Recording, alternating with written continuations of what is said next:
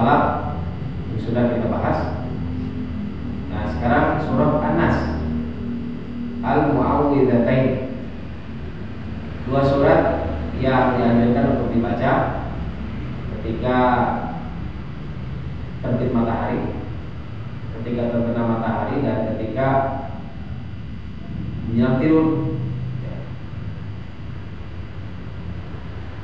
Karena dua surat ini memiliki faedah yang luar biasa.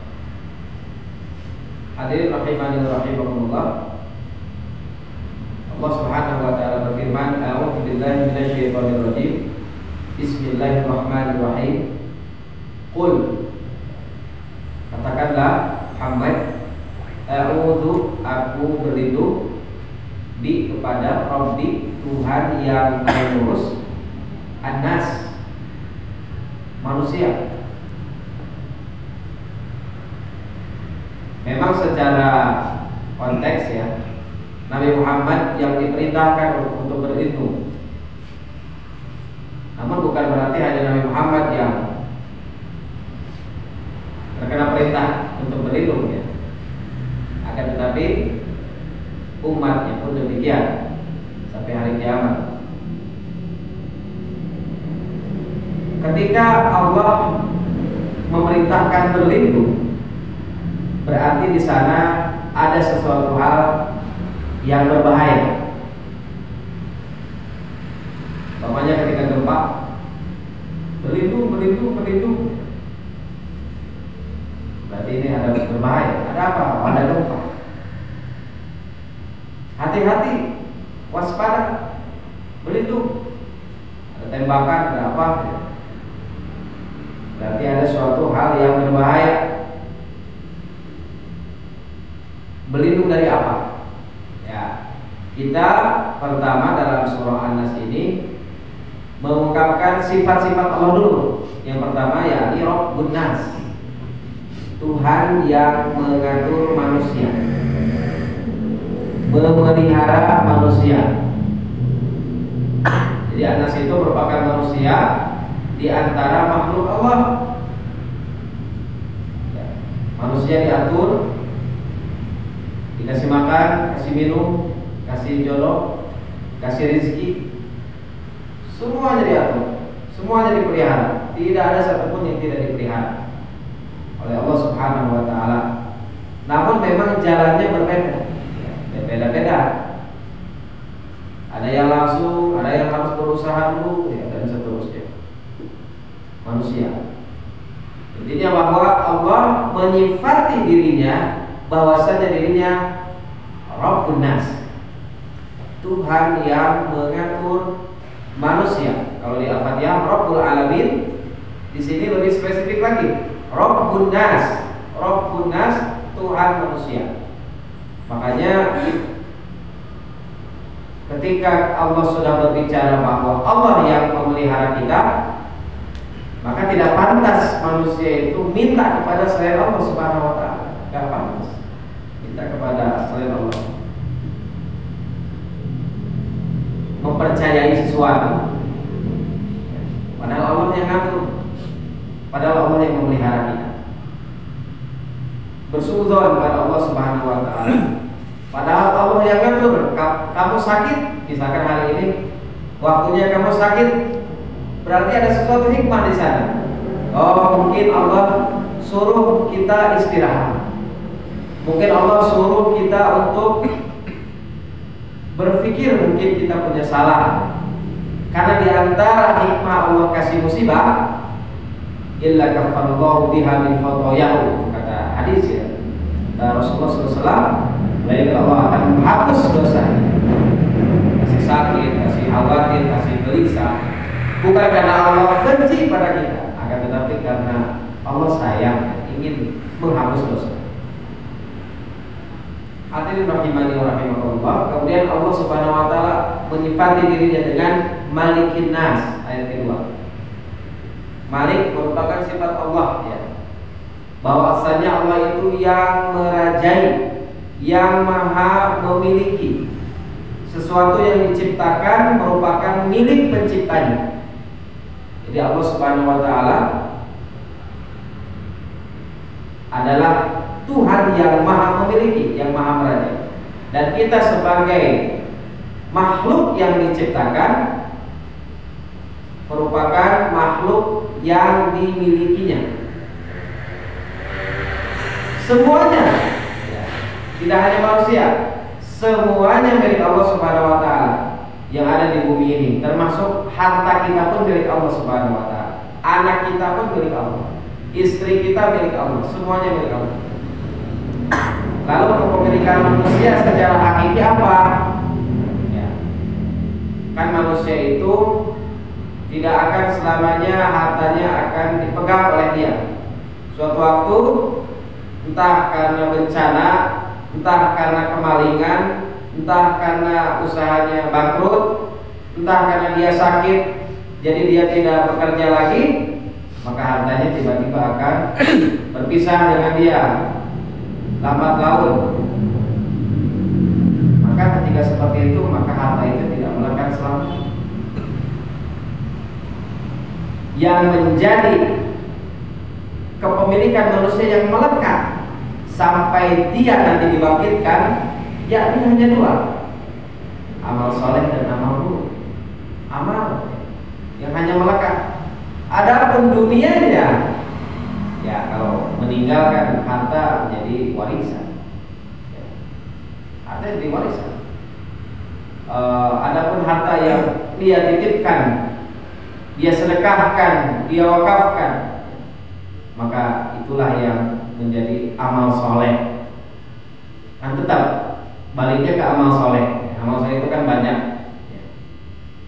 ibarat ya, ibarat itu seperti seekor ayam. Ekor ayam betina bertelur.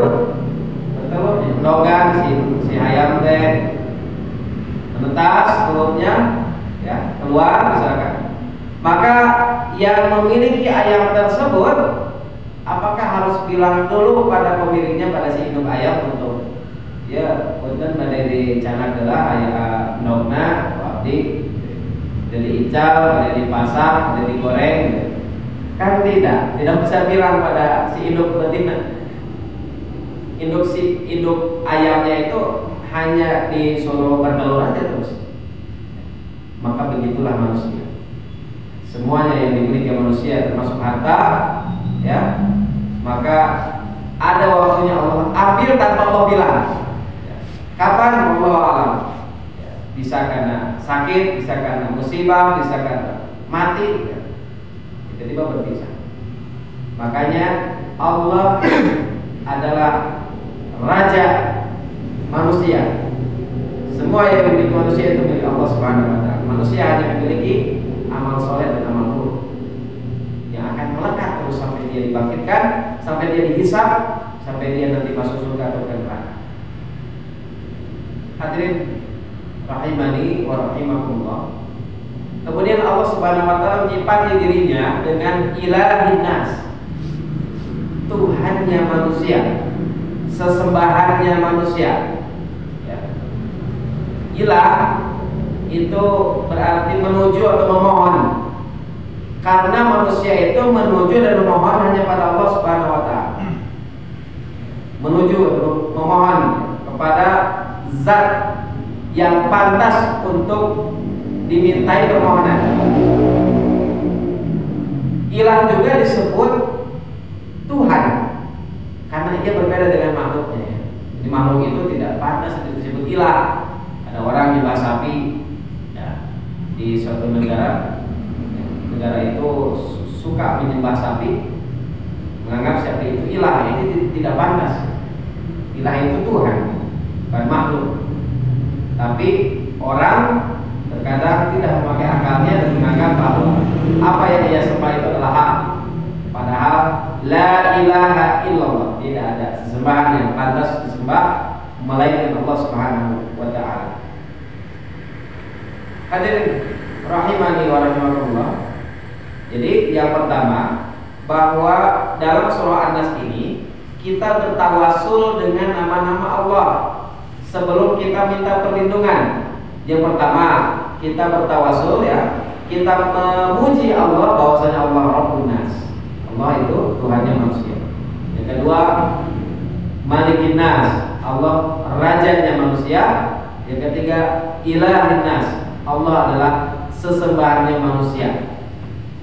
Baru yang keempat, Allah Subhanahu wa taala berfirman, kita berlindung dari apa setelah kita bertawasul dengan nama-nama Allah, memuji Allah? Kita berlindung dari min syarril waswasil khannas. Dari kejahatan. Di sini disebutkannya kejahatan. Al-waswas al-khannas. Bisikan bisikan yang disebarkan, bisikan yang tersembunyi. Khannas itu bermakna apa? Khannas itu bermakna ar-rajja. Ar-rajja itu apa? Maksudnya kembali mundur. Muncul mundur bersembunyi. Muncul lagi bersembunyi lagi seperti seperti sniper ya. Orang yang membidik dari jarak jauh. Ketika si target itu lengah nah, maka langsung ditembakkan itu si snipernya. Dan tidak terlihat ya sniper itu kan jauh. Kalau dekat maka tidak disebut sniper tapi ketika orang tersebut siap tidak lengah nah, maka dia tidak menembak karena dia siap tapi ketika orang tersebut lengah, maka dia langsung menembakkan senjatanya, ya, sniper. Maka kenalah target. Maka seperti itulah analogi bisikan setan yang selama ini selalu membisikkan kepada manusia termasuk kita. Ya. Maju, mundur, maju, mundur, sembunyi, lihat, mulai nama dalam majelis ilmu seperti ini ya. Bisikan setan tidak mungkin akan masuk. Kenapa? Karena orang siap. Ya. karena sekarang sedang mengaji tapi tidak juga menutup peluang setan itu selalu masuk. Ya. Mungkin bisa saja karena bisikannya membuat kita ngantuk bisa saja membuat kita melamun ya, dan sebagainya intinya ingin dipalingkan saja dari kebaikan ya. nah saya uh, ngambil ya di antaranya itu kata Ibnu Qayyim rahimahullah ya bagaimana setan itu sangat jahat dan sangat buruk ya. Jadi kita itu berlindung bukan hanya dari bisikan tapi dari seluruh cakupan kejahatan dan keburukan setan. Setan itu sangat berbahaya, kuat pengaruhnya dan luas dampak kerusakannya. Ya, yang pertama ya. Yang pertama, bisikan itu adalah awal kehendak. Jadi orang itu pertamanya tidak ada di sini niat untuk berbuat jahat, niat untuk berbuat uh, misalkan menzolimi orang, niat untuk melakukan hal-hal yang berbau maksiat, tapi tiba-tiba bisikan datang pada hati yang kosong ya. Nah ini ketika hati seseorang itu kosong, tadinya enggak bermaksiat, masuk bisikan hanya berupa uh, apa? Intinya lamah ya, itu bahasa Arabnya lamah ya. Ini hanya bisikan ya. Bisikan Nah kemudian ketika datang bisikan tersebut Maka terbetiklah di dalam pikirannya maksiat Ini kata Ibnu Qayyim Dibisiki ya. Kemudian datanglah tindakan maksiat Kemudian maksiat itu digambarkan Rumahnya menurut kia, menurut kia, menurut kia Gambarkan Gambarkan maksiat dibangkitkan angan-angan kosong. Oh, kalau bermaksiat, kalau mencuri umpamanya, nanti saya akan punya uang segini, nanti akan diberikan ini, akan diberikan itu dan seterusnya. Nanti saya akan jadi orang kaya dan seterusnya. Intinya datang bisikan, dibangkitkan angan-angan kosong, kemudian muncullah syahwat dan syahwat tersebut dihiasi dan diperindah. Bagaimana kata Allah? La uzayyinan nalahum gitu kan kata Allah Subhanahu wa taala. Iblis itu akan menghiasi yang tadinya nah ini maksiat kita jijik ya terhadap maksiat ya. Nah, kenapa? Karena kita kumpulnya dengan orang soleh. Tapi ketika kita kosong, ketika kita apalagi ketika sendiri ya, maka tiba-tiba bisikan datang, syahwat dihiasi diperindah, maka timbullah iroda, timbullah keinginan untuk bermaksiat.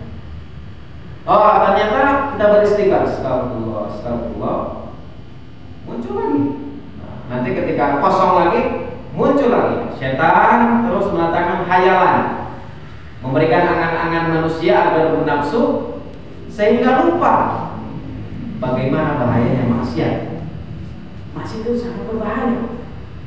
Bagaimana bahayanya khamar, bagaimana bahayanya berzina, bagaimana bahayanya mencuri, bagaimana berbahayanya membunuh, bagaimana bahayanya mencela, mengumpat itu kan sangat berbahaya. Tapi nanti tiba-tiba akan dilupakan, dibuat lupa oleh setan. Ya. Maka akibat buruk maksiat tersebut akan ditutupi, ditutupi nanti. Yang terbayang hanya keindahannya saja. Maka nanti manusia akan hanya merasakan kenikmatan bermaksiat saja tanpa mengetahui akibat maksiatnya. Ini baru bayangan. Jadi ketika dibayangkan, oh ini nikmat, indah, ya, maksiat, ya. dan seterusnya ya. Gimana uh, apa berzina dengan yang haram gitu ya, melakukan hubungan dengan yang haram, uh, mengambil harta anak yatim, ya. Luar biasa itu bayangan yang indah. Dan tidak dan dia lupa bagaimana bahaya maksiat, bagaimana akibatnya yang akan di, dihasilkan. Kemudian nanti tekadnya itu semakin kuat, maka akan menjadi azimah yang mana dia mantap untuk bermaksiat maka timbullah maksiat ya. Terjadilah maksiat. Bahkan kata Ibnu Qayyim dicarikan pasukan lain supaya lebih tegas lagi. Ya, jadi yang menggodanya tidak hanya satu. Kalau dari umpamanya dari jin ya, seton dari golongan jin, nanti ada juga seton dari golongan manusia. Bagaimana teman-temannya mengajak dia pada kemaksiatan. Dicari pasukan lain. Ya. Makanya kata Allah, alam tahu anna arsalna syayatin 'alal kafirin? Ta'usum azza. Tidakkah kau lihat sesungguhnya bagaimana uh, syaitan ya, yang memutus kepada orang-orang kafir ya, jadi syaitan itu memutus yang mengajak kepada pasukan-pasukannya agar menghasut orang-orang dengan sangat bersungguh-sungguh Kemudian kata Allah Subhanahu wa taala di ayat selanjutnya, "Alladzi yuwaswisu fi sudurin nas" yang membisikkan pada dada manusia ya. Ya, jadi kalau menurut Ibnu Qayyim masih menurut Ibnu Qayyim ya. Ini pernah disampaikan dalam tafsir Isti'adah, namun kita ulang lagi hanya singkat saja bahwa yang diinginkan setan iblis yang pertama yakni manusia itu dijadikan kufur pada Allah. Kedua, tahapan yang kedua menjadikan melakukan dosa besar. Yang ketiga, menjadikan manusia membiasakan melakukan dosa kecil. Ya, kalau sudah biasa kan jadi besar. Kemudian yang keempat, membiasakan manusia agar melakukan perbuatan bid'ah dalam beribadah. Ini lebih berbahaya. Kenapa? Karena dia anggap ini perbuatan ibadah, apa otomatis tidak akan beristighfar. Kalau orang melakukan kejahatan sekali dua kali dia akan sadar ini dosa dia akan beristighfar tapi beda ya kalau misalkan terus-terusan melakukan maksiat maka dosa tersebut tidak akan dianggap lagi dosa nah, jika orang melakukan perbuatan bid'ah melakukan perbuatan baru dalam ibadah maka otomatis pelakunya tidak akan beristighfar karena dia anggap ini kebaikan kemudian kata Ibnu Qayyim mendahulukan perbuatan mubah dibandingkan yang sunnah, dibandingkan yang wajib, ya. mendahulukan nonton TV daripada sholat berjamaah di masjid umpamanya, mendahulukan dulu olahraga dibandingkan sholat berjamaah di masjid dan seterusnya. Kemudian mendahulukan perbuatan yang maftul, ya. yang kurang afdol. Nah, itu di antara tahapan-tahapan. Maka hadir rahimani rahimahullah Setan itu menggambarkan keburukan menjadi indah Jadi kita tahu ini keburukan Tapi setan digambarkan seakan ini indah Kemudian menjadikan keburukan sebagai kebaikan Ini kebaikan Ketika melakukan kemaksiatan ini baik Padahal buruk nah, Itu ditipu Kemudian apalagi menyemangati manusia melakukan keburukan. Ayo, kamu belum melakukan maksiat hari ini. Ayo, semangati supaya terus rutin mengerjakan keburukan. Kemudian apalagi menjadikan seorang gelisah jika tidak bermaksiat kan ada. Bagaimana orang yang sudah kecanduan morfin, ya, morfin itu sejenis homer tapi tingkatnya tingkatannya tingkatan level tinggi ya tapi khomar itu mau tingkatan rendah atau tinggi tetap saja khomar memabukkan dan itu wajib dihindari surfin amali syaitan. Tapi bagaimana? Dia terus-terusan menghis, menghirupnya gitu kan? Uangnya habis, bagaimana caranya dapat morfin lagi gitu ya. Dan ini pun dijadikan tafsiran bagi orang-orang yang masuk neraka Bagaimana mereka memakan darah, memakan atau meminum darah, meminum e, nanah padahal itu menjijikan padahal nanah darah menjijikan nah ini seperti orang yang mengkonsumsi morfin morfin tahu menjijikan ya. hanya membuat kenikmatan sesaat seperti halnya para ahli neraka yang hanya membuat perut mereka bebas dari kelaparan tapi hanya saat meledak lagi minum meledak lagi dan seterusnya kemudian apa lagi Setan itu menjadikan seorang gelisah jika tidak bermaksiat. Setan juga membuat orang malas dalam melakukan kebaikan. Makanya kadang ya kita itu selalu malas ya.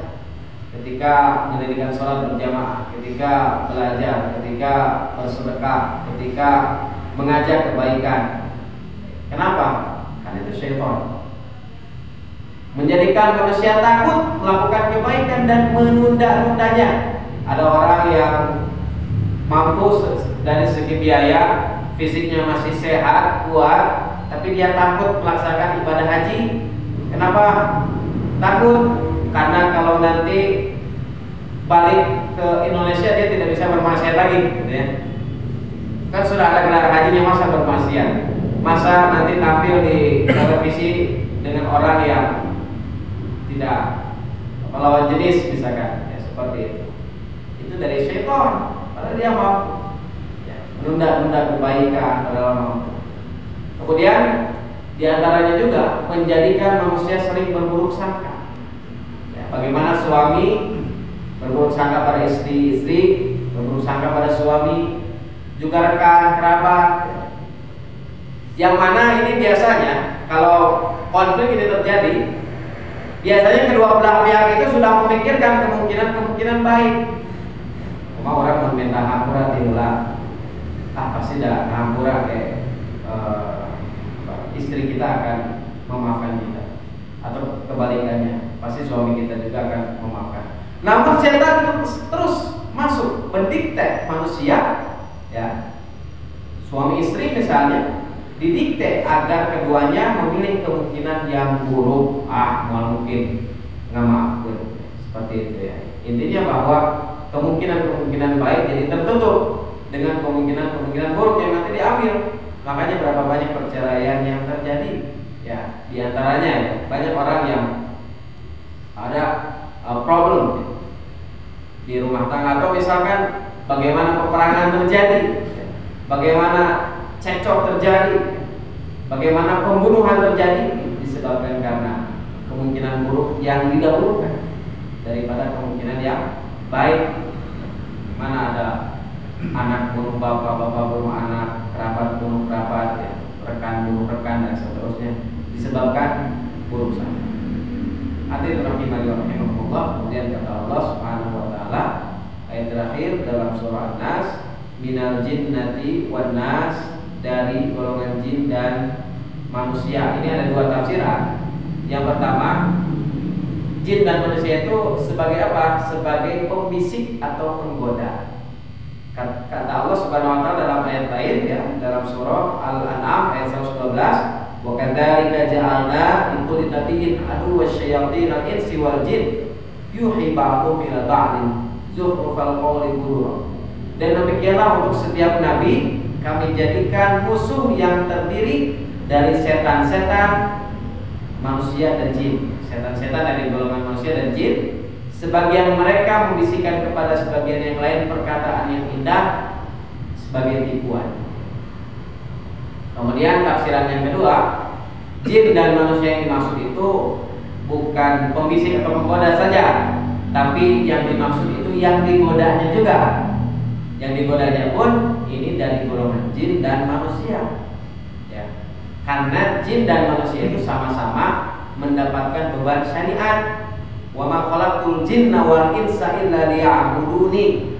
Dan tidaklah aku ciptakan jin dan manusia melainkan hanya untuk beribadah kepadaku. Berarti kalau sudah diberikan tantangan, nanti akan datang cobaan. Cobaan jian, jiannya berupa godaan. Termasuk dari golongan jin yang baik juga. Mereka akan digoda oleh jin yang jahat, jin yang kafir.